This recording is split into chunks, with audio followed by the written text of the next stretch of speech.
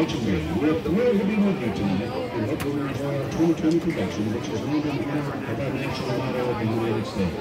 We is one, which means for many, one. This season we wish to celebrate the 75th anniversary of the end of World War II, a conflict which produced what has become known as America's greatest generation. We begin with the National March of the United States of America, the Stars and Stripes Forever. And now on to the show.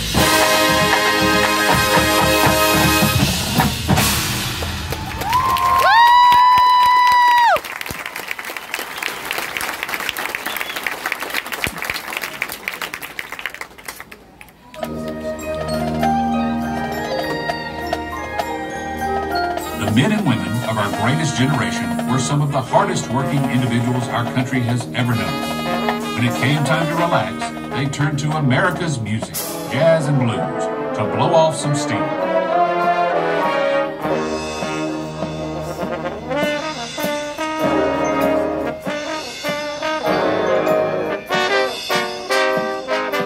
Ladies and gentlemen, please welcome the UNA Color Guard.